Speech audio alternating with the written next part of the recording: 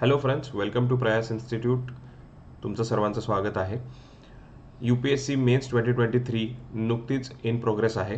G S one two three four आणि essay paper हे conclude झालेले आहेत. ऑप्शनल पेपर हे आता होणार आहेत. तर प्रयास तुमच्यासाठी महाराष्ट्रातला पहिला असा एक इनिशिएटिव्ह घेऊन आलेला आहे की ज्याच्यात U P S C mains through Prayas lens म्हणजे जे काही एसेपासून जी एसपर्यंतचे पेपर्स आत्ता झाले आहेत नुकतेच twenty twenty three U P S C मेन्सचे त्या पेपर्सचं प्रायमरी ऑब्झर्वेशन्स प्लस त्या पेपर्समध्ये काही पी वाय क्यू लिंकेजेस आहेत का? प्लस त्या पेपर्समध्ये जे प्रयास आपल्या इथे यू पी एस सीच्या मेन्सच्या टेस्ट सिरीज कंडक्ट करतात त्याच्यातून काही रिफ्लेक्शन होत आहे का? आणि एक overall observation about the paper हे आपण रन करतोय.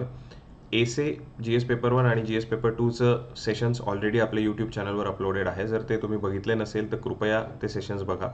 इथे आपण आज जी एस पेपर थ्रीचं बेसिक अनालिसिस करणार आहोत. आणि इन अपकमिंग डेज आम्ही डिटेल विथ आन्सर्स पण ह्या पेपर्सचं डिस्कशन करूयात so let see first impression of G S paper three काय आहे आणि एक ओव्हरऑल अनालिसिस ऑफ G S paper three my name is Mohit Sawant me G S थ्रीची कन्सर्न फॅकल्टी आहे प्रयासमध्ये. बघूयात काय आहे first impression G S paper थ्रीचं तर फर्स्ट इम्प्रेशनमध्ये बरेच विद्यार्थी असं म्हणतात की पेपर हा लेंदी होता. लेंदी इन व्हॉट सेन्स तर मी मुद्दाम क्वेश्चन मार्क दिलाय प्रत्येकाला कारण सगळ्यांनाच तो लेंदी वाटला असेल असं अजिबात नाही आहे but lengthy in what sense तर जे काही क्वेश्चन्स होते previously till twenty twenty two G S paper थ्रीचे तर ह्या पेपरमध्ये बऱ्याच वेळा असं होतं की sir questions were kind of straightforward पण आत्ता ह्या वर्षीचे जर तुम्ही पेपर्स बघ पेपर बघितला G S paper थ्रीचा I hope you have you must have gone through that paper आपल्या टेलिग्राम चॅनलवर तो पेपर ऑलरेडी अपलोडेड आहे. तर क्वेश्चनची जर तुम्ही वर्ड लिमिट बघितली तर ती क्वेश्चनची वर्ड लिमिट ही बऱ्यापैकी वाढलेली दिसते आपल्याला. आणि त्याच्यामुळे लिंकेजेस पण दिसत आहेत म्हणजे G D P growth rate हा एम एस एम ई इंडस्ट्रीला लिंक केलेला आहे. म्हणजे मॅन्युफॅक्चरिंगला पूर्वी लिंक केलेला होता पण आता मॅन्युफॅक्चरिंगमध्ये पण एम एस एम ईजला स्पेसिफिकली लिंक केलेला दिसतोय. ओके अनएम्प्लॉयमेंटचे रिझन विचारले जातात ते पूर्वी विचारले होते. स्ट्रक्चरल अनएम्प्लॉयमेंट ह्यावेळेस विचारली गेली आहे पण त्या स्ट्रक्चरल अनएम्प्लॉयमेंट सोबतच त्याचे रिझन्स वगैरे तर आहेतच पण कम्प्युटेशनल मेथडॉलॉजी ऑफ अनएम्प्लॉयमेंट पण विचारली. So more than one sub part असं म्हणू शकतो आपण एका क्वेश्चनमध्ये दिसत आहेत आणि म्हणून हा पेपर थोडा लेंदी आहे का? तर डेफिनेटली पेपर थोडा लेंदी आहे in the form of question I'm talking about okay obviously answers तर तुम्हाला वर्ड लिमिट फिक्स आहे. त्याच्यामुळे थोडा वाचायला वेळ जातो या पेपरला असं आपण म्हणू शकतो. दुसरं एक फर्स्ट इम्प्रेशन सांगता येईल की सर जे काही प्रेडिक्टेड सेक्शन्स होते रादर जे काही प्रॉबेबल सेक्शन होते आत्तापर्यंतचे ते सगळे ह्यावेळेस जी एस पेपर थ्रीने किंवा यू पी एस सीने स्किप केलेले दिसत आहेत म्हणजे नो इन्क्लुझिव्ह ग्रोथ हा म्हणजे इन्क्लुझिव्ह ग्रोथ हा एक टॉपिक होता की बऱ्याच वेळा दरवर्षी काइंड ऑफ इन्क्लुझिव्ह ग्रोथ हा रिपीट होत होता. ह्या वर्षी हा शब्द आपल्याला जी एस पेपर थ्रीमध्ये बघायला मिळत नाहीये. फूड सिक्युरिटीबद्दल दरवर्षी काही ना काही क्वेश्चन असायचा. ह्या वर्षी तो फूड सिक्युरिटी शब्द दिसत नाहीये. इवन इन्फ्रास्ट्रक्चरमधलं पी पी पी हा वर्ड आपल्याला फ्रिक्वेंटली बघायला मिळायचा.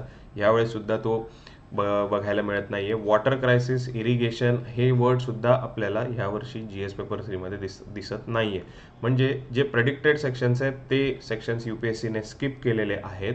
सो काइंड ऑफ असं म्हणू शकतो की प्रिपरेशनमध्ये थोडा ट्विस्ट आणणं किंवा यू पी एस सीने इथे आपल्याला नवीन काही गोष्टी ॲड करून एका प्रकारे कात टाकलेली दिसते specifically G S paper थ्रीमध्ये okay so no predicted section हे एक इम्प्रेशन आहे. त्याच्यानंतर ओल्ड थीम्स रिसर्फेस्ड मग हे प्रेडिक्टेड सेक्शन जर स्किप केले आहेत यू पी एस सीने तर ज्या जुन्या थीम्स होत्या यू पी एस सीच्या म्हणजे E tech in agriculture okay आता हा सिलेबसचा पॉइंटर तुमचा डेफिनेटली आहे.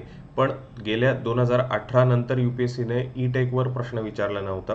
पण आत्ता यू पी एस सीने तो क्वेश्चन रिसर्फेस केलेला दिसतोय आपल्याला. मी नेहमी माझ्या सेशन्समध्ये सांगत असतो की तुम्हाला पी वाय क्यूज अत्यंत महत्त्वाचे आहेत. दोन हजार तेरा ते आता दोन हजार तेवीस ह्या वर्षातले तुम्हाला पी वाय क्यू बघणं गरजेचं आहे. सर लेटेस्ट दोन हजार एकवीसला बावीसला यू पी एस सीने विचारलेलं नाही आहे गेल्या तीन वर्षापासून विचारत नाही आहे तर मग का आपण ते टॉपिक करायचे? दोन हजार तेरा चौदाचे प्रश्न. ही एक युपीएससीची ट्रेंड अनालिसिसमधली नेहमीची थीम आहे हे लक्षात घ्या की they will come with old themes in the next year okay त्यालाच फक्त रिपॅकेजिंग करून ते पुन्हा विचारलं जाईल. त्याच्यामुळे P Y Qs are the backbone of our preparation हे पुन्हा एकदा प्रूव्ह होतं आहे पुढच्या पॉईंटर्समध्ये मी ते तुम्हाला सांगणारच आहे. तो ई टेक इन ॲग्रिकल्चर हे परत रिसर्फेस झालं आहे लँड रिफॉर्म्सवर प्रश्न होता दोन हजार एकवीसला सुद्धा. पण लँड सिलिंगवर असा प्रश्न नाही आहे आपल्याकडे आत्तापर्यंतचा. तो land reform connecting with land ceiling U P S सीने प्रश्न विचारलेला आहे यावर्षी. याचा अर्थ ज्या जुन्या थीम्स आहेत त्या रिसर्फेस झाल्या आहेत याच्यातून आपल्याला टेक अवे काय आहे? की आपल्याला पी वाय क्यूज बघणं हे अत्यंत गरजेचं आहे. ओके हे एक लक्षात घ्या. आणि त्याच्यानंतर very common and very popular debate की सर हा पेपर करंट ओरिएंटेड होता कंटेम्पररी होता की स्टॅटिकवरच फोकस आम्ही इथून पुढे ठेवलं पाहिजे? तो डेफिनेटली माझं म्हणणं असेल की it is a mix of current contemporary and static but it is more incline towards the static part okay तो हे एक लक्षात घ्या.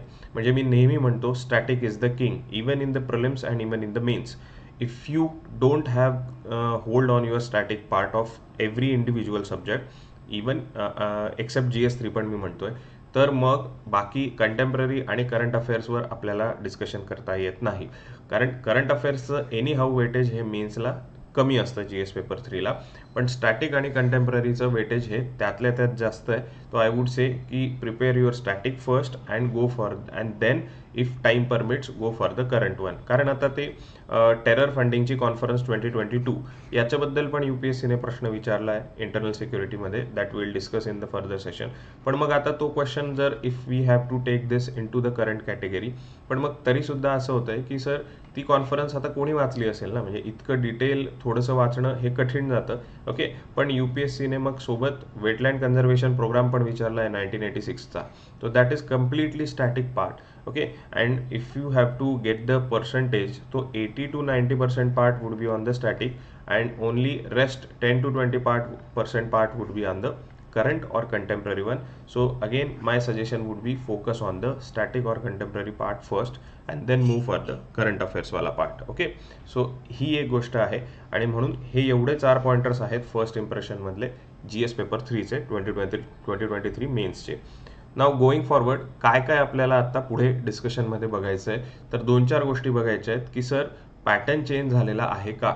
Is there shift in the pattern की काही टॉपिक्स आहेत की ज्यांचं वेटेज वाढलं आहे काही टॉपिक्स आहेत सबसेक्शन्स आहेत जी एस पेपर थ्रीमधले की ज्यांचं वेटेज कमी झालं आहे असं काही आपल्याला दिसतंय का? ते बघूयात आपण. त्याच्यानंतर जसं मी म्हणलं की पी वाय क्यूचं लिंकेजेस बघायचे आहेत. की इंडिव्हिज्युअल टॉपिक किंवा इंडिव्हिज्युअल सब्जेक्ट सबसेक्शन वाईज आपण डिस्कशन करू. आणि त्या सबसेक्शननुसार पी वाय क्यू त्या सबसेक्शन्सवर किती आले होते त्याच्याबद्दल पण चर्चा करूयात. आणि देन अकॉर्डिंगली विल डिसाईड की टॉपिक वाईज किंवा सबसेक्शन वाईज लेवल काय होती. त्या क्वेश्चन्सची किंवा त्या सबसेक्शन्सची इकॉनॉमी सेक्शन टफ होता का? ॲग्रोनॉमी सेक्शन टफ होता? इझी होता? इंटरनल सिक्युरिटी यावेळेस टफ होता का? ते पण बघूयात. आणि मग यू पी एस सीने जे काही आत्तापर्यंत प्रश्न विचारले आहेत त्याच्यात प्रयासने ज्या आत्तापर्यंतच्या मेन्सच्या टेस्ट घेतलेल्या आहेत ओके? परीक्षण बॅच असेल स्पेशल मेन्स बॅच असेल किंवा रेग्युलर कॉम्प्रिहेन्सिव्ह बॅच असेल. यू वुड नो की Prayas is known for its mains preparation so त्याच्यामुळे सिमिलॅरिटी इन अवर टेस्ट पण मी तुम्हाला इथे काही क्वेश्चन्स दाखवेन की कशा प्रकारे ही सिमिलॅरिटी असू शकते.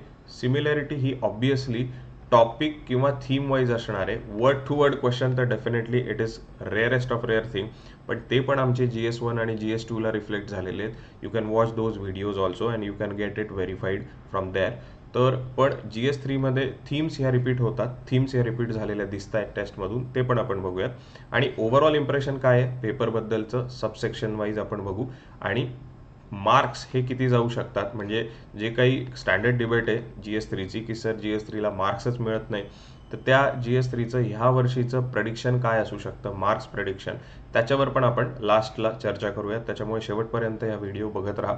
त्याच्यावरून तुम्हाला व्यवस्थित अंदाज येईल. आणि तुमची पुढच्या प्रिपरेशनची if you are attempting for twenty twenty four or twenty twenty five or any year of U P S C mains definitely तुम्हाला जी एस थ्रीची स्ट्रॅटेजी डिवाईज करण्यासाठी हा व्हिडिओ शंभर टक्के काम करणार आहे. ओके हे पण हे सगळं बघूयात आपण. तो let start with the first point की सर पॅटर्न चेंज झालेला दिसतोय का? तो हे एक प्रिव्हियस पॅटर्न आपल्याला सांगितलं जातं weightage wise per sub component economy agronomy environment disaster science tech आणि इंटरनल सिक्युरिटी हे सहा सब कंपोनंट आहेत.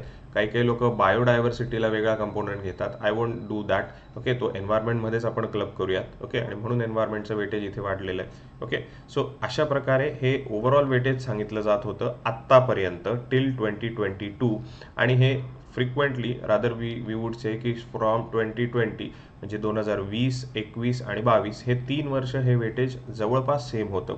याच्यात काही व्हेरिएशन नव्हतं. पण somehow U P S सीने थोडं व्हेरिएशन ह्यावर्षी केलेलं दिसतंय.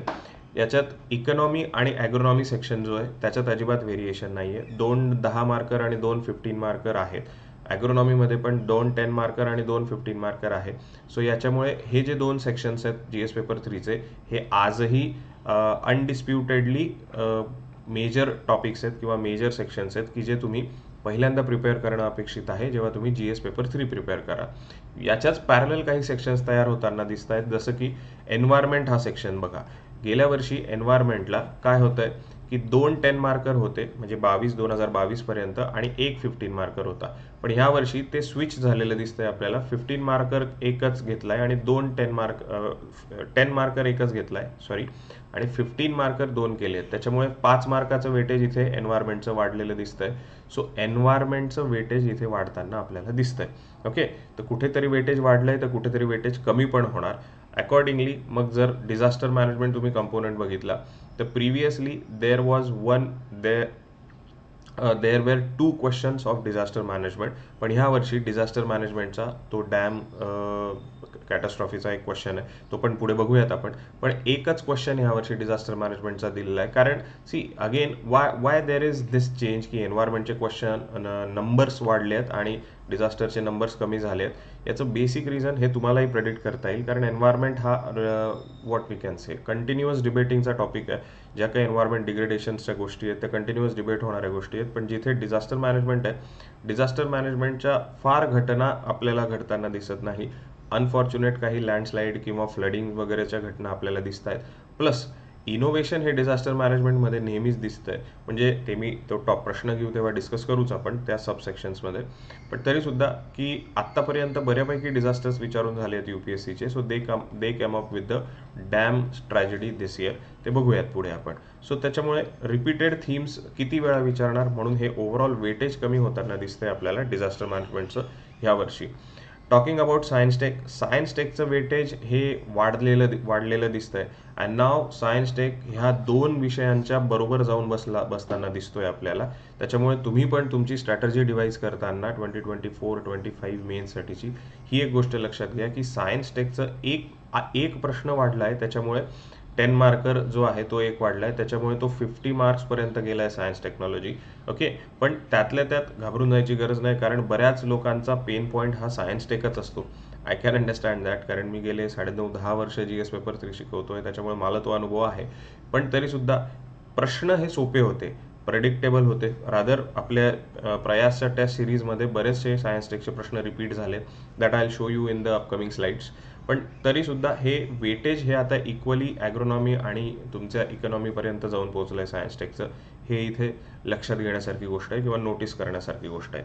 And about internal security there is no change in the internal security जो फिफ्टी मार्क्स होते इंटरनल सिक्युरिटीचे दोन टेन मार्कर आणि दोन फिफ्टीन मार्कर त्याच्यात काहीही चेंज नाही आहे even the number of questions is also fixed म्हणजे question number nine and ten जी मी नेहमी सांगत असतो इंटरनल सिक्युरिटीचे टेन मार्कर्स आहेत. आणि नाईन्टीन आणि ट्वेंटीन हे पण इंटरनल सिक्युरिटीचे दोन फिफ्टीन मार्कर्स आहे so there is no change in the number of question also हे पण लक्षात घ्या. तर हे तीन कंपोनंट आहेत की ज्याच्यात व्हेरिएशन आपल्याला यू पी एस सी करताना दिसतंय. आणि प्रॉबेबल आहे की नेक्स्ट इयर सुद्धा हे याच्यात व्हेरिएशन करू शकतात. म्हणजे next year they will come back to the topic पण जर आपल्याला आत्ता हा ट्रेंड दिसतोय तो डेफिनेटली आपल्याला त्याच्यावर काम करणं गरजेचं आहे. सायन्स टेकवर थोडा जास्त फोकस वाढवणं गरजेचं आहे. एन्व्हायरमेंटवर थोडा फोकस वाढवणं गरजेचं आहे. आणि डिझास्टर मॅनेजमेंटचा फोकस कमी नाही करायचा आहे पण जेवढा आहे तेवढा मेंटेन ठेवायचा आहे आपल्याला okay so this is the weightage or shift in the pattern we can say for this year's mains G S paper three okay मग आता जाऊयात आपण इंडिव्हिज्युअल सेक्शनवर डिस्कशन करू. सॉरी स्टार्टिंग फ्रॉम इकॉनॉमी आणि इंडिव्हिज्युअल सेक्शनचं काय काय आहे डिस्कशन ते बघूया. तो इकॉनॉमी सेक्शन फिफ्टी मार्क्स दोन टेन मार्कर दोन फिफ्टीन मार्कर इकॉनॉमी सेक्शनला जर बघायचं झालं तर हे दोन टेन मार्करचे क्वेश्चन्स आहेत. याच्यात विचारलं काय तुम्हाला बघा. Economic growth requires increase share of manufacturing sector so इथे इकॉनॉमिक ग्रोथवर प्रश्न आहे. इकॉनॉमिक ग्रोथवर प्रॉबेबली प्रश्न असतो. पी वाय क्यूमध्ये सुद्धा क्वेश्चन आहे. पण पी वाय क्यूमध्ये डिस्कशन करताना हे मॅन्युफॅक्चरिंग सेक्टरबद्दल घेतलेलं आहे एकदा यू पी एस सीने पण एम एस एम ई सेक्टरचं कॉन्ट्रीब्युशन आजपर्यंत यू पी एस सीने विचारलेलं नव्हतं. त्याच्यामुळे M S M E sector हे जास्त हायलाईट झालं. आणि हे this was a probable thing की गेल्या दोन तीन चार वर्षानंतर चार वर्षापासनं किंवा आपण म्हणू शकतो post COVID particularly M S M E sector जास्त बूममध्ये किंवा government is trying to boost the M S M E sector with various policies okay? म्हणजे मग ते प्रायोरिटी लिंक इन्सेंटिव्ह स्कीम्स असतील किंवा वेगवेगळ्या गोष्टीं थ्रू त्याच्यामुळे M S M E sector हे स्पेसिफिकली हायलाईट होणं अपेक्षित होतं आणि यू पी एस सीने ते हायलाईट केलं आहे तो बेस प्रश्न तर बेसिक आहेत. ते प्रश्न आपण दुसरं एक सेशन घेऊयात डेडिकेटेडली याच्याबद्दल. तिथे मी तुम्हाला क्वेश्चनची डिमांड काय आहे क्वेश्चनचं स्ट्रक्चर कसं बनवलं पाहिजे आणि कंटेंट काय असलं पाहिजे या सगळ्या गोष्टींबद्दल तिकडे डिस्कशन करूयातच आपण. अपकमिंग सेशन्समध्ये ते घेऊ. पण आत्ता आपण बेसिक बघतोय की प्रश्नांचं स्वरूप कसं आहे. तो economic growth M S M E sector contribution आणि पॉलिसीज इन दिस रिगार्ड ह्या तीन गोष्टी बघायच्या आहेत. तो M S M E sector इथे हायलाईट होतं आहे म्हणजे this is your theme for this year's economic question तर ते एक कळलं पाहिजे.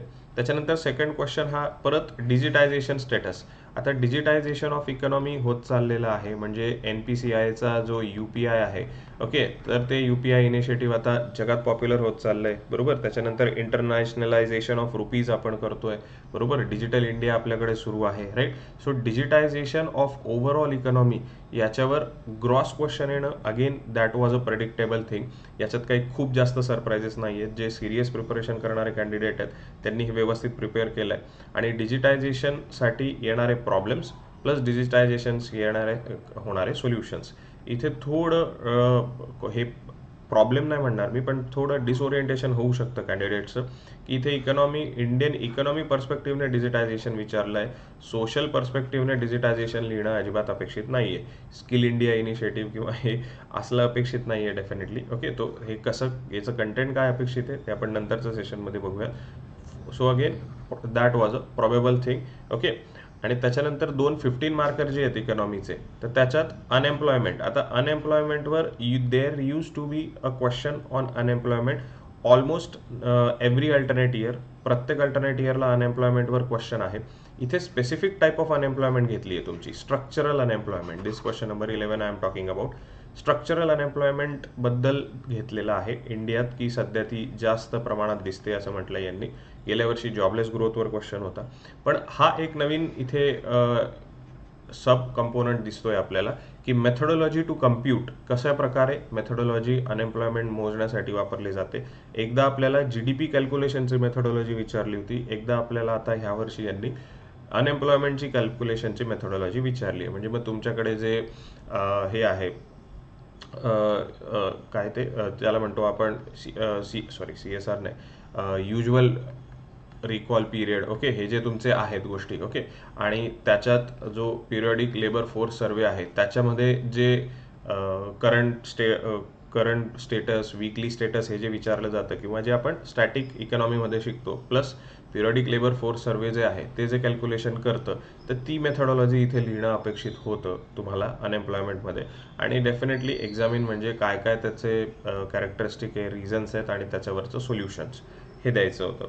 सो अनएम्प्लॉयमेंटवर क्वेश्चन पण हा थोडासा twist methodology to calculate okay त्याच्यानंतर हा क्वेश्चन नंबर ट्वेल्व जो आहे याच्यात थोडंसं वेगळं आपल्याला दिसेल बघायला मिळेल की याच्यावर यू पी एस सीने आजपर्यंत काही फोकस केलेला नव्हता. प्रॉबेबल तसं म्हणता येईल तर हे काही ह्या वर्षी येणं प्रॉबेबल नव्हतं. हे पारंपरिकरित्या प्रॉबेबल आहे. म्हणजे दरवर्षी तुम्ही जे काही हाऊसवाईफ्स आपल्या इथे काम करतायत आणि ते जे काही वर्क करतायत तर ते मनिटाईज झालं पाहिजे. याच्याबद्दल बद्दलचं डिस्कशन हे काही नवीन नाही आहे ओके पण यू पी एस सीने ह्यावेळेस तो प्रश्न विचारला regarding the care economy okay आणि how we can monetise that care economy त्याच्याबद्दलचं डिस् डिस्कशन आहे. पहिले तर तुम्हाला फरक सांगायचा आहे डिस्टिंग्विश करायचं आहे and how we can translate care economy into monetised economy through woman empowerment okay असं इथे हा प्रश्न होतो basic question विचारलाय. So if you know care economy की हाऊसहोल्ड जे काही महिला कामं करतात त्यांचं जे वर्क आहे ते मनिटाईज झालं पाहिजे because that is thankless job तो तो मनिटाईज झाला पाहिजे. त्याच्यासाठी काय स्टेप्स घेऊ शकतो ओके ते तो इथे प्रश्न यांनी विचारलेला दिसतो आपल्याला. तो हा क्वेश्चन नंबर ट्वेल्व थोडा सरप्राइझिंग सरप्राइझिंग नाही म्हणणार पण लिहायला कंटेंट वाईज थोडा ट्रिकी आहे. पण बाकी इतर तीन प्रश्न हे कंटेंट वाईज पण ट्रिकी नाही आहेत हे बऱ्याच वेळा डिस्कशनमध्ये झालेले आहेत.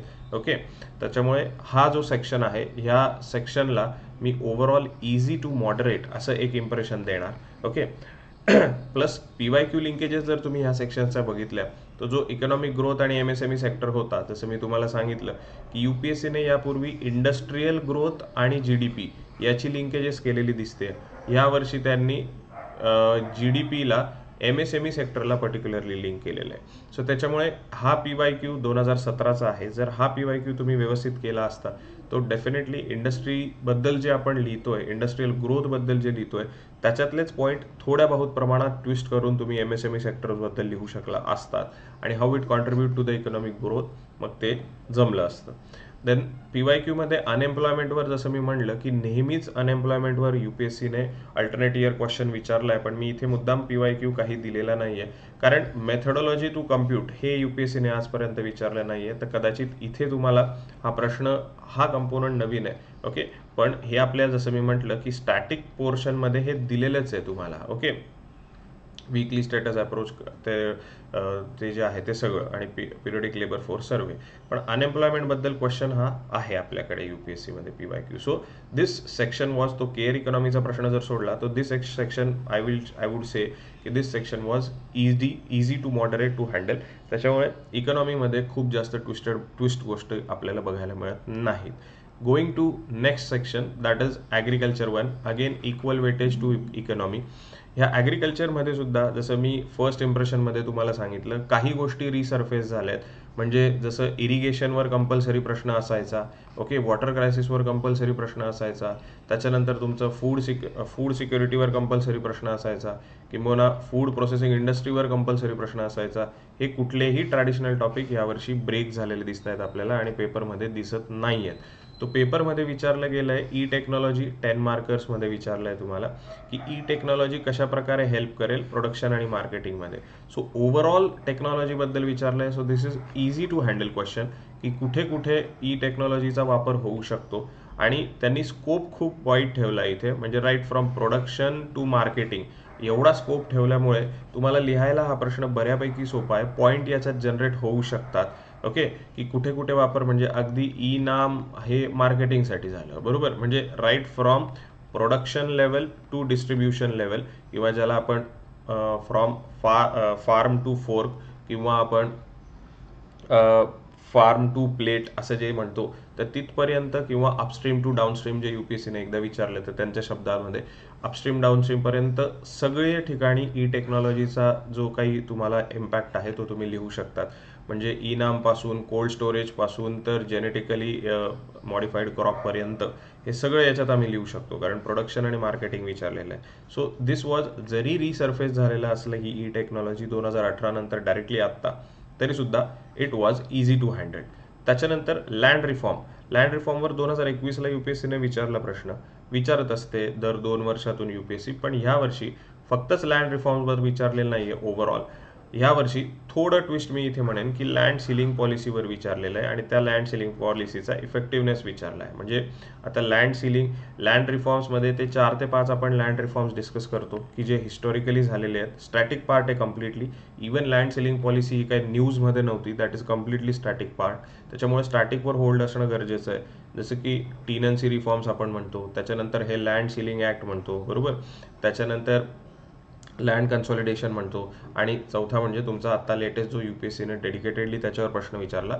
दोन हजार तेरा चौदाचा लँड ॲक्विजिशन ओके तो हे चार कंपोनंट जर आपण लँड रिफॉर्ममध्ये डिस्कशन करतोच तर त्याच्यापैकी तुम्हाला लँड सिलिंगबद्दल विचारलं आहे लँड सिलिंग पॉलिसी तुम्हाला डायरेक्टली माहितीही नसली त्याच्या तुम्ही पॉइंटर जनरेट करून नसले ठेवले तरीसुद्धा नावावरून काहीतरी आपल्याला लिहिता येऊ शकतं आहे ओके की कॅप लावायची आहे तुम्हाला जे काही लँड ओनरशिप आहे त्याला एक बेसिक कॅप लावायची आहे आणि ते इकॉनॉमिक ग्रोथसाठी कसं काम करेल म्हणजे त्याचा इफेक्टिव्हनेस लिहायचा आहे. सो अगेन जरी थोडा ट्विस्ट असला तरी we could have write write this question असं मला वाटतं लँड सिलिंगबद्दलचा ठीक आहे? त्याच्यानंतर जे फिफ्टीन मार्कर आहेत ॲग्रोनॉमीमध्ये तर changes in the cropping pattern आणि changes in the consumption pattern and marketing condition conditions again cropping पॅटर्नचा जो क्वेश्चन आहे की explain the changes in the cropping pattern म्हणजे तुम्ही राईस वीट सिस्टीम जी आहे तर त्या ट्रॅडिशनल राईस वीट सिस्टीमवरून तुम्ही कसं शिफ्ट करतायत आता? हॉर्टिकल्चरकडे असेल किंवा तुम्ही व्हेजिटेबल्सकडे शिफ्ट होत असाल किंवा तुम्ही वेगळ्या फ्रूटकडे शिफ्ट होत असाल किंवा अजून काही तत्सम फ्लोरिकल्चरकडे शिफ्ट होत असाल तो क्रॉपिंग पॅटर्न किंवा मिलेटकडे शिफ्ट होत असाल बेसिक तो क्रॉपिंग पॅटर्नमध्ये कसा शिफ्ट आहे याच्याबद्दल प्रश्न विचारला आहे सो क्रॉपिंग पॅटर्न हा ट्रॅडिशनल फॉर्मॅट आहे यू पी एस सीचा. यू पी एस सीने आतापर्यंत बऱ्याच वेळा क्रॉपिंग पॅटर्न हा शब्द घेऊन किंवा ही थीम घेऊन वेगवेगळे ट्विस्ट करून क्वेश्चन विचारलेला दिसतोय. पण हा क्वेश्चन बऱ्यापैकी सोपा आहे. कुठल्या याला स्पेसिफिक क्रॉपिंग पॅटर्नला घेऊन नाही आहे म्हणून तुम्ही जनरलाइज हा क्वेश्चन आहे तो जनरलाइज याची डिमांड फुलफिल करू शकतात. So we could have write this question and next is your fourteen is your direct and indirect subsidies so हा तर डायरेक्टली सिलेबसमधला शब्द उचलला आहे युपीएससीने म्हणजे पूर्ण प्रश्नच मी असं म्हणेन की सिलेबसमधला उचलून टाकलेला आहे. की डायरेक्ट आणि इनडायरेक्ट सबसिडीज काय असतात? अतिशय सोपा इझी कॅटेगरीतला क्वेश्चन आहे की इंडियामध्ये डायरेक्ट आणि इनडायरेक्ट सबसिडी काय आहेत? Examples are must here okay तुम्ही जर एक्झाम्पल्स देत नसाल तर डेफिनेटली तुमचे मार्क्स इथे कट होतील.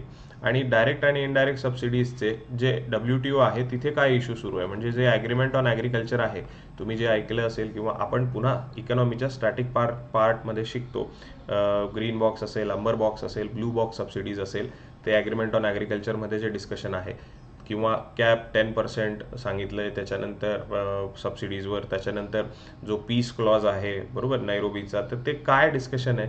हे डब्ल्यू टी एचं डिस्कशन जे आपण कम्प्लिटली स्टॅटिक आहे इकॉनॉमीमध्ये पार्ट तर ते आपण डिस्कस करतो तो स्टॅटिकवरच हा कंप्लीट क्वेश्चन आहे. So if you have again hold over static हा ॲड्रेस करता आला असता.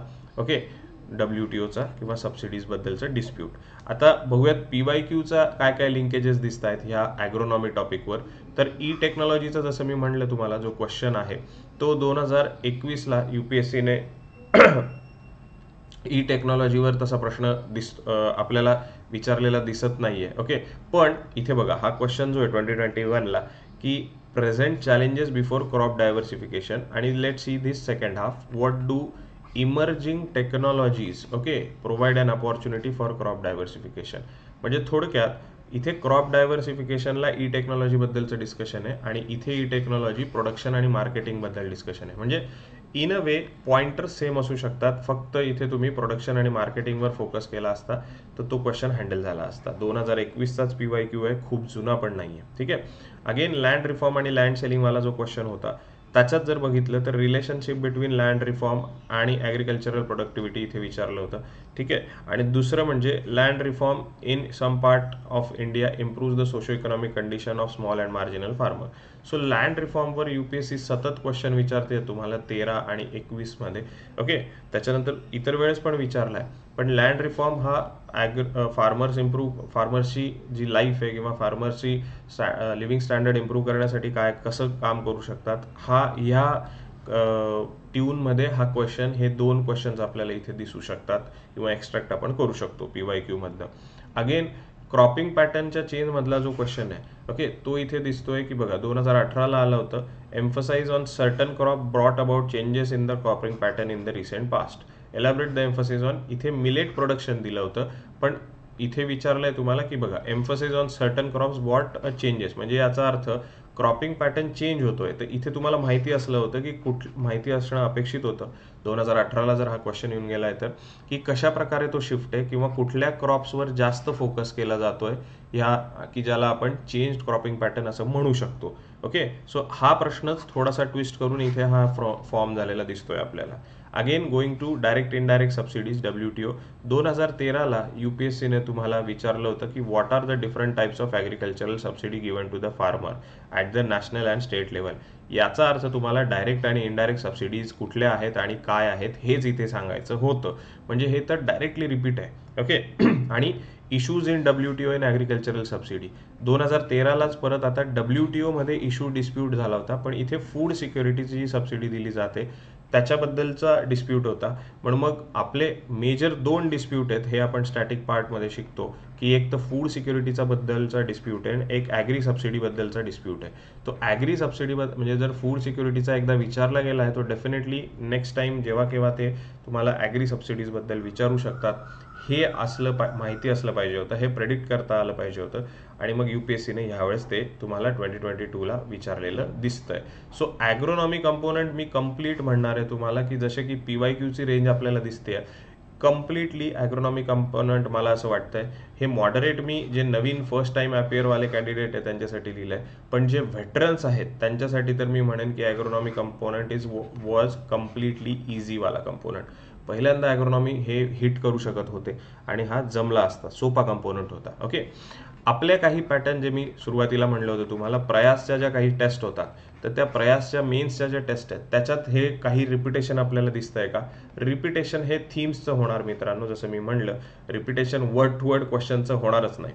इथे बघा टेक्नॉलॉजी ई टेक्नॉलॉजी विचारलं होतं तुम्हाला तर role of technology in overall farmers livelihood improvement okay तर हे इथे आम्ही हा क्वेश्चन घेतला होता आमच्या त्या सिरीजमध्ये आणि त्याच्यानंतर लँड रिफॉर्मचा क्वेश्चन होता तर land reform in the overall improvement of again farmers life किंवा रुरल प्रोडक्टिव्हिटी हे पण घेतलं होतं. सो हे यू टेस्टमध्ये येणाऱ्या थीम्स ह्या रिपीट होतात. हे इथे आपण लक्षात घेतलं पाहिजे. कारण जे काही पी वाय क्यूचं अनालिसिस करूनच हे टेस्ट पेपर सगळे आमच्याद्वारे काढले जातात आणि अकॉर्डिंगली कॅन्डिडेट तसे प्रॅक्टिस पण करतात. इवन आपला जो Prayas U P S C group आहे किंवा टेलिग्राम चॅनल आहे त्याच्यावर पण आम्ही आमचे काही फीडबॅक्स तुम्हाला टाकू की जे आत्ता मेन्स लिहित आहेत कॅन्डिडेट त्या मेन्स लिहिणाऱ्या कॅन्डिडेटने आम्हाला मेन्स पेपर झाल्या झाल्या हे फीडबॅक्स पाठवले आहेत की सर हा प्रश्न डायरेक्टली रिपीट झाला किंवा ह्या प्रश्नाचं हेच सेम सिमिलर लाईनमध्ये हा क्वेश्चन होता. We will post those feedbacks on our channel also ते पण तुम्ही रेफर करा. ठीक आहे? Then third component is our science technology science टेक्नॉलॉजीमध्ये काय होताना दिसतंय आपल्याला? तो जसं मी म्हणलं वेटेज वाढलेलं दिसतंय सायन्स टेकचं पण वेटेज जरी वाढलेलं असलं तरी फार जास्त क्रिटिकल आहे science technology is not that case कारण बघा ए आयची कन्सेप्ट आता हा क्वेश्चन नंबर फाईव्ह आणि क्वेश्चन नंबर सिक्स दोन टेन मार्कर डिस्कस करू. ए आय कन्सेप्ट ही विचारणार किंवा विचारली जाईल तो चॅट जीपीटी पासून तर इतर ए आय टूल्सपर्यंत भरपूर डिस्कशन होतं. So it was very quite predictable thing की ए आयबद्दल तुम्हाला काही ना काही विचारलं जाईल आणि यू पी एस सीने ते विचारलंच. इवन आपल्या टेस्टमध्ये पण आपण ते कव्हर केलंच होतं. ते तुम्हाला दाखवतोच पुढचे प्रश्न. ओके तो A I use in health care आणि threat to privacy very basic question if you have prepared A I very well in your notes then you could have answer this question ठीक आहे? त्याच्यानंतर पुढचा हा एक होता micro organism fuel shortage काही कॅन्डिडेटला हा क्वेश्चन गेस करता आलेला नाहीये. कारण क्वेश्चनचं स्टेटमेंट थोडं बदललं युपीएससीने की discuss the the ways which micro organism can help in meeting the current fuel shortage basically microorganisms हे फ्युएल शॉर्टेजला काउंटर करतायत. तर याचा अर्थ इथे डिस्कशन आहे तुमचं बायोफ्युएल्सचं हे समजलं पाहिजे होतं. जर हेच नाही समजलं असेल तर हा प्रश्न हँडल करण्यासाठी इझी नव्हता. कारण biofuels is nothing but micro organism for fuels okay आणि बायोफ्युएल्स म्हणजे मग बायोफ्युएलची दोन हजार अठराची पॉलिसी असेल किंवा नुकतंच जी ट्वेंटी पार पडलं त्याच्यात बायोफ्युएल अलायन्स इंडियाने एक इनिशिएटिव्ह घेऊन तयार केलेली दिसते आपल्याला. ठीक आहे? तो ही बायोफ्युएलची जी पॉलिसी आहे त्याच्याबद्दलचं हे डिस्कशन होणार अपेक्षित होतं. आणि म्हणून हे विचारलं यू पी एस सीने. आणि हे विचारताना तुम्हाला हे सांगायला म्हणजे हे जमलं पाहिजे होतं. जर हा प्रश्नच डिटेक्ट झाला नसता की इट इज अबाउट बायोफ्युएल तर मग तो इथे प्रॉब्लेम होता. देन फिफ्टीन मार्कर जर बघायचे झाले तर फिफ्टीन मार्करमध्ये आपल्याला दिसतंय इथे E व्हेकल्सबद्दल again very popular component E vehicle rather पुढे जाऊन आम्ही तिकडे म्हटलं असतं की फ्लेक्स फ्युएलबद्दलचं आहे डिस्कशन ओके आत्ता तुम्ही जर बघितलं असेल काही दिवसापूर्वी फ्लेक्स फ्युएल व्हेकल हे डिस्कशन होतं आहे आणि फ्लेक्स फ्युएलबद्दलचं जे डिस्कशन आहे तर त्याच्या संदर्भात डायरेक्टली फ्लेक्स फ्युएलबद्दल विचारलं नाही आहे पण ई व्हेकल्सबद्दल विचारलेलं आहे यू पी एस सीने ठीक आहे? तर इथे ई व्हेकल्स त्याचे बेनिफिट्स आणि कार्बन एमिशन कमी करण्यासाठी ते काय करतं ई व्हेकल हे सिंपल अगेन प्रेडिक्टेबल कंपोनंट होता. जरी फिफ्टीन मार्कर असला तरी सुद्धा.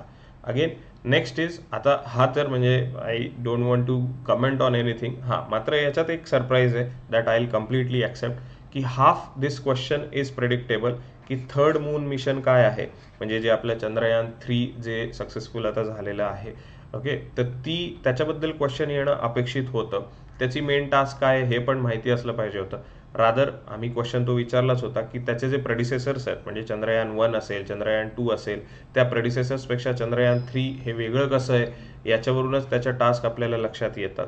हे तुम्हाला माहिती असणं अपेक्षित होतं. कारण मागच्या वेळी त्या टेलिस्कोपच्या प्रेडिसेसर्सबद्दल तुम्हाला विचारलं होतं यू पी एस सीने ओके तो हा half part was easy to address but this जो हा जो पार्ट आहे की व्हर्च्युअल लॉन्च कंट्रोल व्हेकल तर याला ॲड्रेस करण्यासाठी थोडंसं टफ गेलं असतं. जे शब्दावरून तुम्हाला जमतंय. कारण इट इज व्हेरी रेअर की कुठला कॅन्डिडेट हा व्हर्च्युअल लॉन्च कंट्रोल सेंटरबद्दल स्पेसिफिकली त्याला काही नॉलेज असेल. असू शकतं पण रेअर आहेत अशा केसेस पण जनरलाइज जर करायचं झालं तो ॲव्हरेज कॅन्डिडेट काय करेल की याच्यावरून व्हर्च्युअल लॉन्च कंट्रोल सेंटर जे आहे तर नावावरूनच काहीतरी प्रेडिक्ट करून त्याच्याबद्दल लिहिण्याचा प्रयत्न करेल. So half part was easy to address but half part was quite difficult to handle असं मी म्हणेन. जर नसेल जमलं हरकत नाही. सगळ्यांनाच जमेल याची शाश्वती नाही. मग जे दोन हजार चोवीस पंचवीस टार्गेट करतायत त्या लोकांसाठी की हे मग सर असे प्रश्न आम्ही कसे हँडल करायचे? तो माय सजेशन वुड बी फक्त एवढ्या हाफ पार्टसाठी डिस्कशन करायला जाऊ नका. पहिले rest to two hundred thirty marks किंवा टू हंड्रेड मार्क्स प्रिपेअर करा आणि मग जे फिफ्टी मार्क्सचं जे सरप्राइजेस असतील ते आपण कसे प्रिपेअर करायचे हे मी ॲक्च्युअल तेव्हा तुम्ही मेन्सला जाल तेव्हा ते डिस्कशन करूयात आपण ओके रादर हे याच्यावरूनच तुम्हाला लिहायचं आहे वेगळं काही त्याच्यात लिहिणं अपेक्षित नाही आहे ठीक आहे? राईट लिंकेजेस बघायच्या झाल्या तर third moon mission already U P S सीने दोन हजार सतराला तुम्हाला चांद्रयान आणि मार्स ऑर्बिटर मिशनबद्दल विचारलं होतं. आणि मग हे थर्ड मून मिशन ह्यावेळेस सीने विचारलं. सो त्याच्यामुळे तो एकच म्हणजे ह्या व्हर्च्युअल लॉन्च कंट्रोलमुळे याची लेवल मॉडरेट जाते. अदरवाईज मागच्या वेळेपेक्षा म्हणजे तो सेल्युलोजचा क्वेश्चन होता किंवा तो टेलिस्कोपचा क्वेश्चन होता. त्याच्यानंतर एस फोर हंड्रेडचा एक वर्षी प्रश्न तुम्हाला होता की कम्प्लिटली अननोन असा क्वेश्चन काही नाही आहे याच्यात हाफ पार्ट त्या प्रश्नामध्ये चांद्रयान किंवा थर्ड मून मिशनमध्ये तुम्ही तो हाफ पार्ट लिहू शकत होता. हाफ पार्टमध्ये डिबेट होती.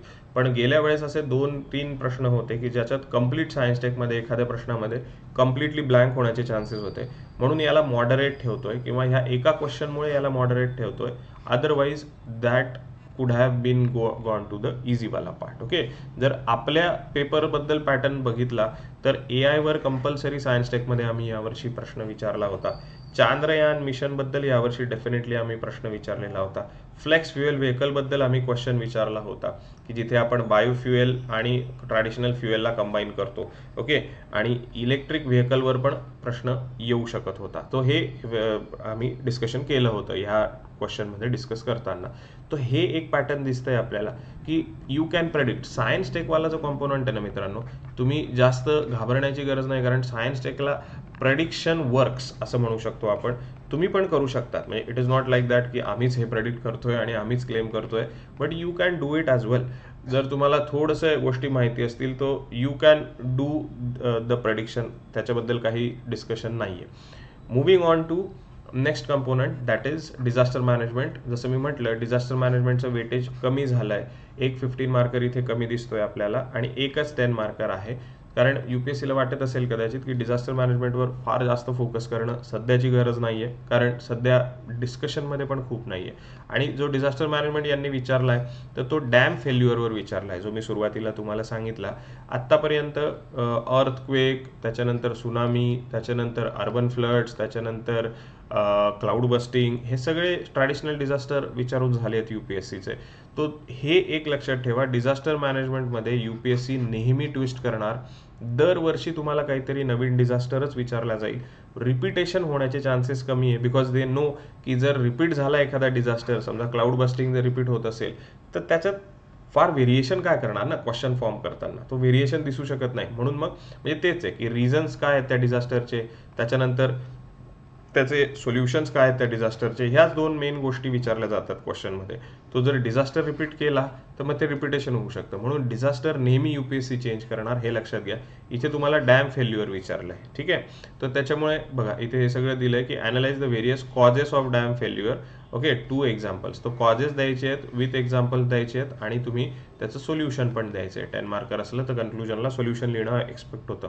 आता एक्झाम्पलमध्ये सर आम्ही कोणते एक्झाम्पल देऊ? इंडियन एक्झाम्पल देऊ किंवा बाहेरचे एक्झाम्पल देऊ?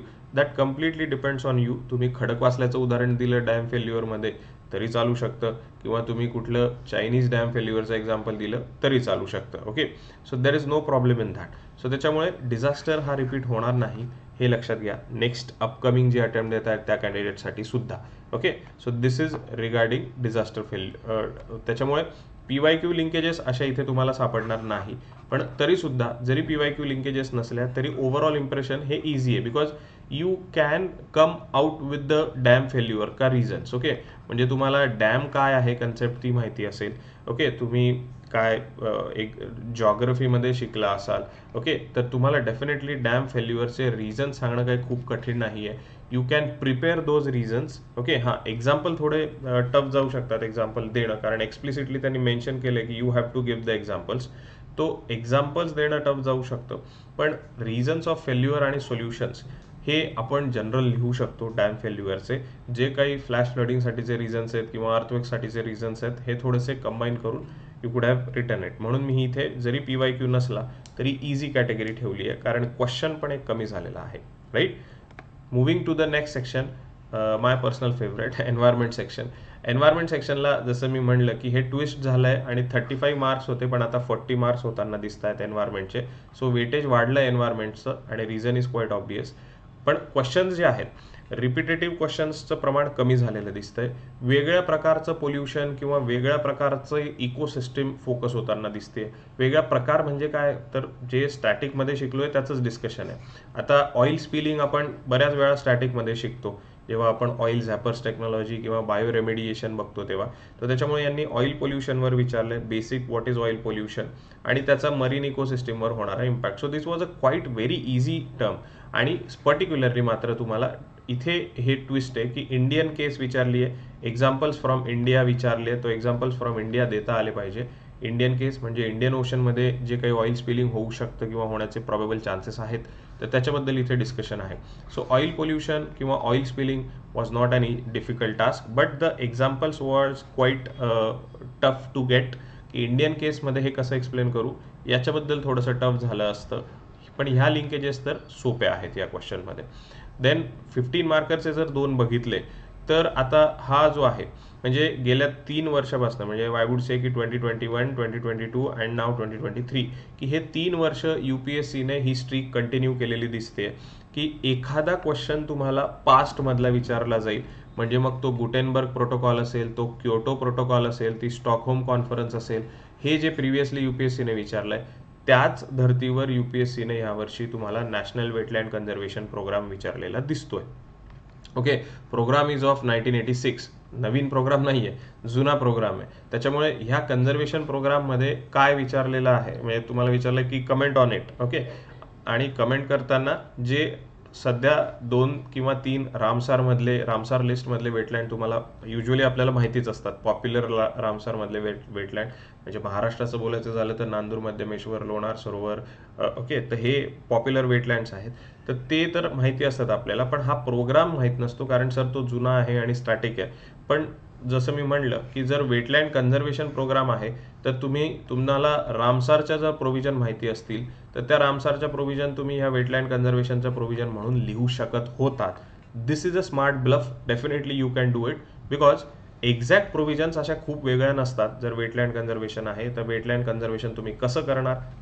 याच्या स्टेप्स सांगितल्या आणि ते as a national wetland conservation programme म्हणून टॅग केल्या. तरी तो ॲड्रेस होऊ शकत होता क्वेश्चन ओके स्पेसिफिकलीच खूप माहिती असलं पाहिजे आणि जर नाही माहिती आहे तर मग मी सोडून देईन.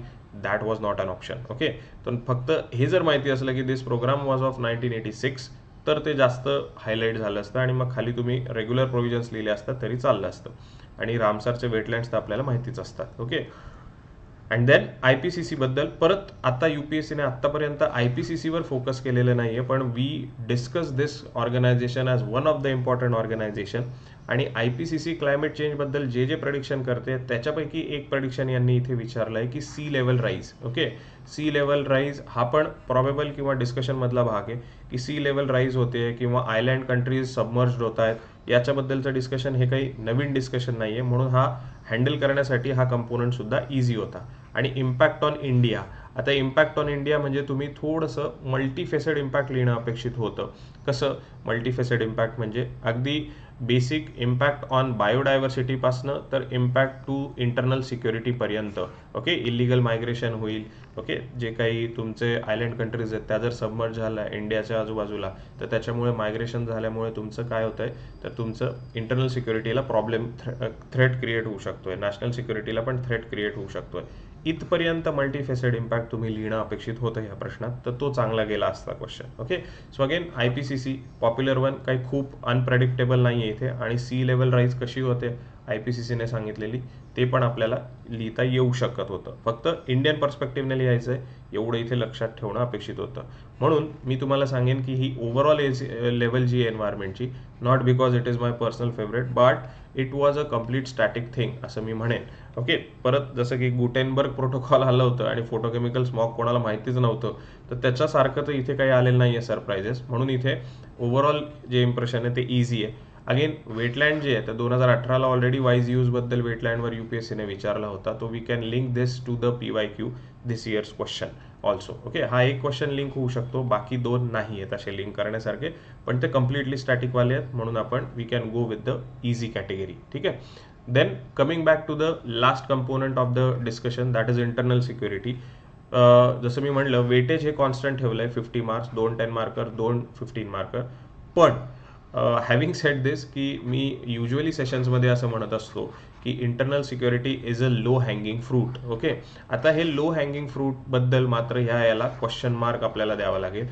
कारण जर इन सिक्युरिटीचे क्वेश्चन्स बघितले रिपिटेशन आहे. पी वाय क्यूज पण मी तुम्हाला दाखवतो पी वाय क्यूज आहेत. पण मग सिक्युरिटीच्या क्वेश्चन्समध्ये थोडंसं कंटेंट जनरेशनला प्रॉब्लेम येऊ शकतो अशा प्रकारचे इथे क्वेश्चन्स आपल्याला दिसत आहेत खास करून क्वेश्चन नंबर हा टेन जो आहे तो. म्हणजे पहिला जो क्वेश्चन आहे टेररिझम मेजर्स म्हणजे त्यातल्या त्यात सॉफ्ट मेजर्स म्हणजे heart and minds in terrorism affected area Jammu Kashmir आणि नीड ऑफ अन एक्झाम्पल बरोबर? तर असीम फाउंडेशन वगैरे तुम्ही जर नाव ऐकलं असेल तर ते तुम्हाला जर लिहिता माहिती असेल तर लिहिता येईल अदरवाईज हे डिफिकल्ट जाईल. पण याच्यावर एक पी वाय क्यू येऊन गेला होता. If I tell you the P Y Q बघा हा इथे पी वाय क्यू आहे. दोन हजार एकोणीसला यू पी एस सीने विचारला होता की banned Jamaat-e Islami in Jammu Kashmir brought into focus of role of overgrounded workers in assisting terrorist organization म्हणजे स्पेसिफिकली फोकस जम्मू काश्मीरला होता. तो जम्मू काश्मीर आणि टेरर ॲक्टिव्हिटीज हा टॉपिक तुम्ही करणं अपेक्षित होतं इंटरनल सिक्युरिटीमध्ये आणि मग त्याच्यात त्याला हँडल करण्यासाठी काय काय मेजर्स घेतले जातात आणि त्या मेजर्समध्ये हार्ड मेजर काही आहेत आणि सॉफ्ट मेजर काही आहेत. तो winning the heart and minds ते जे आहेत ते सॉफ्ट मेजर्समध्ये जातं. तो हे आपल्या नोट्समध्ये दिलेलं होतं. हे करणं अपेक्षित होतं. जर दोन हजार एकोणीसचा हा प्रश्न आहे तर. म्हणून मी जसं म्हणलं की हा क्वेश्चन आपण ॲड्रेस करू शकत असतो. जर आपल्याला एक्झाम्पल्स जरी माहिती नसले तरीसुद्धा आणि माहिती असले असते तर ते ॲड ऑन झालं असतं. पण हा जो नेक्स्ट क्वेश्चन आहे क्वेश्चन नंबर टेन की use of unmanned aerial vehicle by enemies in border area हे करंटमध्ये डिस्कशन आहे. अनमॅन्ड एरियर व्हेकल म्हणजे तुमचे ड्रोन्स वापरले जात आहेत ओके किंवा आता कॉन्फरन्सेस पण होत आहेत. मिलिटरी से जे काही हे अशा प्रकारे यू ए व्हीज वापरले यू ए व्हीज वापरून तुमचं जे बॉर्डर सिक्युरिटी थ्रेट क्रिएट होतोय तर याच्यात तुम्हाला स्पेसिफिक एक्झाम्पल जर माहिती नसतील ओके की कुठल्या बॉर्डर एरियाजमध्ये असे थ्रेट होत आहेत तर ते आन्सर थोडंसं जनरलाइज होईल. आणि जनरलाइज झाल्यामुळे मग म्हणजे हा यू ए व्हीज कशाप्रकारे थ्रेट आहे बॉर्डर एरियाजमध्ये हे सांगताना जर एक्झाम्पल नसतील तर ते आन्सर थोडं जनरलाइज होईल आणि त्याच्यामुळे मार्क्स हे कमी होऊ शकतात इथे. एक ते दोन मार्क्स कमी मिळू शकतात ओके लेस होऊ शकतात. हे एक इथे लक्षात घेतलं पाहिजे. म्हणून हा क्वेश्चन थोडा ट्विस्टेड होता.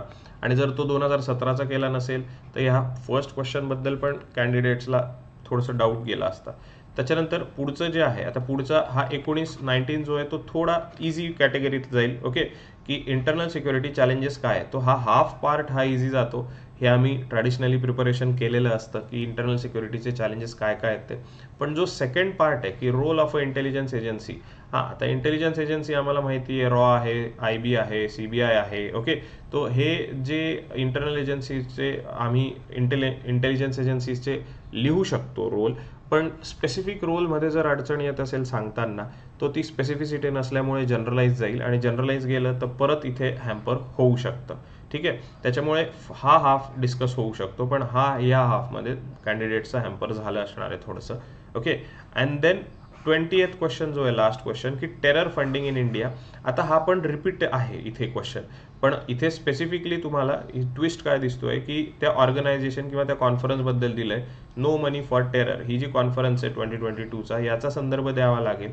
याचा रोल टेरर फंडिंगसाठी काय आहे? किंवा ह्या टेरर फंडिंग कमी करण्यासाठी ही कॉन्फरन्स कशा प्रकारे मदत करेल? तिथे काय डिस्कशन झालं आहे काय रेकमेंडेशन झाले आहेत हे सगळं डिस्कशन देणं अपेक्षित होतं. पण टेरर फंडिंगविषयी यू पी एस सीने ऑलरेडी प्रश्न विचारला आहे तुम्हाला दोन हजार सतराला परत की टेरर फंडिंग इन इंडिया बघा त्या जिथे आहे की scourge of terrorism is a grave challenge to national security ठीक आहे? What solution do you suggest okay to curb the growing menace okay येते लक्षात. म्हणजे what are the major sources of terrorist funding बघा इथे टेरर फंडिंग बद्दलचं जर discussion आहे म्हणजे युपीएससीने एकदा टेरर फंडिंगवर ऑलरेडी तुम्हाला विचारले कीवर्ड गरजेचे आहेत बरं का. म्हणजे इथे तुम्हाला हे टेररिझम त्याच्यानंतर सोल्युशन सांगायचे आहेत. तर त्याच्यामुळे हे कीवर्ड्स पी वाय क्यू मधले जर तुम्ही आयडेंटिफाय करणार नाही मी हे सतत सांगत असतो. ते गरजेचंच आहे ते करून त्याच्यावरच्या नोट्स किंवा तुमच्या नोट्स तशा प्रकारे रिमोल्ड झाल्या पाहिजे. तसं जर होत नसेल तर मग प्रॉब्लेम आहे.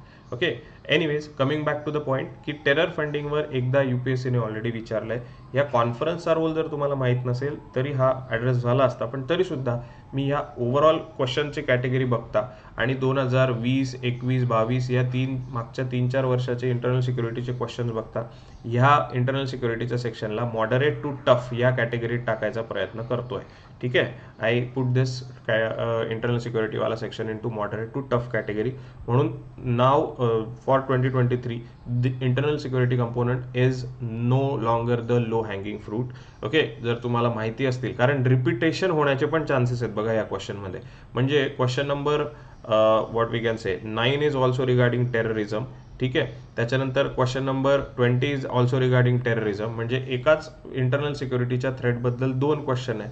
म्हणून रिपिटेशन होईल आणि रिपिटेशन झालं तर मग अगेन मार्क्स कमी होतात. इथे क्वेश्चन नंबर नाईन्टीनमध्ये पण इंटरनल सिक्युरिटी चॅलेंजेस विचारलेले आहेत ओके आणि इथे बॉर्डर एरियाज विचारलेले आहे तो बॉर्डर एरियाजचं चॅलेंज तुम्ही इथल्या नाईन्टीन क्वेश्चनमध्ये लिहिणारच आहे त्याच्यामुळे परत पुन्हा थोडं रिपिटेशन होऊ शकतं आणि स्कोअर कमी होऊ शकतोय ओके म्हणून मॉडरेट टू टफ असं मी इथे लिहिलं आहे ह्या सेक्शनला so these are the twenty questions or twenty sections या आपल्या पूर्ण डिस्कशनमधले वीस प्रश्न. आणि हे जे आहेत तर ह्याचं मी तुम्हाला इथे लिस्टिंग पण देऊन दिली आहे कीवर्ड्स किंवा थीम्स सगळ्या लिस्ट करून दिलेल्या आहेत ट्वेंटी क्वेश्चन्सच्या तर ह्या थीम्स तुम्ही डिस्कस करू शकतात ओके किंवा हे बघू शकतात ही पी पी टी मी तुम्हाला तुमच्याशी शेअर करेल. And now coming to the काय? थँक्यू म्हणण्याच्या अगोदर. ओव्हरऑल ज्याच्यासाठी तुम्ही थांबले होते ज्या गोष्टीसाठी की ओव्हरऑल प्रडिक्शन काय आहे? कट ऑफचं कट ऑफ म्हणण्यापेक्षा मार्क्सचं प्रडिक्शन काय असू शकतं? See since G S three component is a very unpredictable component किंवा जो आपण पॉप्युलर शब्द वापरतो की scale down G S three मोठ्या प्रमाणावर होतोय गेल्या दोन तीन वर्षात ह्या वर्षीचा जर प्रश्न क्वेश्चन पेपर मी बघितला जसं मी सुरुवातीलाच सांगितलं की थोडा लेंदी क्वेश्चन पेपर आहे. प्लस जे कंपोनंट आपल्याला लो हँगिंग वाटत आहेत ते कंपोनंट आता थोडेसे मॉडरेट टू टफ लेवलला गेले आहेत प्लस जी एस थ्री मध्ये जे प्रॉबेबल कंपोनंट होते फूड सिक्युरिटी इन्क्लुझिव्ह ग्रोथ वगैरे असले कंपोनंट आता दिसत नाहीये. जुने कंपोनंट रिसर्फेस होताना दिसत आहेत ह्या तीन चार कारणांमुळे मला असं वाटतं आता जी एस थ्री हा थोडासा सोपा विषय नाही आहे तो थोडासा हायर लेवलला गेलेला आहे. क्वेश्चन वाईज पण थोडा हायर लेवलला गेला आहे आणि जेव्हा हायर लेवलला क्वेश्चन जातो तेव्हा फार इनोव्हेशन डिस्कशन होत नाही. तुम्ही पेपर कंप्लीट केला आहे का? हे डिस्कशन जास्त होतं. आणि पेपर कंप्लीट केल्यानंतर तुम्ही प्रश्न लिहिलेत का? उत्तर कसे लिहिलेले आहेत याच्यावर डिस्कशन होतं. प्रश्न सोपा असला एक लक्षात घ्या प्रश्न जर सोपा असला तर कोणी जास्त इनोव्हेशन दिलंय याच्यावर डिस्कशन होणार आणि त्याच्यामुळे ते स्केल डाऊन होणार. कारण सगळ्यांचेच आन्सर सेम दिसणार. पण प्रश्न थोडासा टफ किंवा लेंदी असला तर तिथे फार जास्त इनोव्हेशनला स्कोप नाही आहे लिहिलेलं आहे का याच्यावर फोकस येतो आणि तिथे मार्क्स दिले जातात. त्याच्यामुळे मला असं वाटतं माझा अंदाज जो आहे की गेल्या वर्षी जी रेंज होती म्हणजे right from range was very wide म्हणजे right from seventy near about seventy to one zero five he range होती जे पास झाले होते कॅन्डिडेट गेल्या वर्षी. तर ह्या वर्षी ही रेंज थोडीशी मला अप्पर साईडला जाताना दिसेल असं वाटतंय. माझा प्रायमरी अंदाज आहे. Let see will see that in the actual marksheet also ते आपल्याला सहा सात महिन्यांनी कळेलच. ओके मे जूनच्या पिरियडमध्ये तो पण हे मला थोडंसं अप्पर साईडला जाईल असं दिसतंय. मार्क्स यावेळेस कॅन्डिडेटला येतील. कारण टफ असला की हँडल कॅन्डिडेट्स करतात. आणि त्यातल्या त्यात तिथे मार्क्स पण मिळतात. Okay so attempting the paper was the challenge आणि if you have attempted it you will definitely get the score हे माझं प्राईम फायनल कन्क्लुजन याच्याबद्दलचं असणार आहे. बाकी detail question wise demand structure content हे सगळं नंतरच्या सेशनला डिस्कस करू. Thank you very much bye bye take care दुसरे जी एसचे सेशन्स बघायला विसरू नका. Okay bye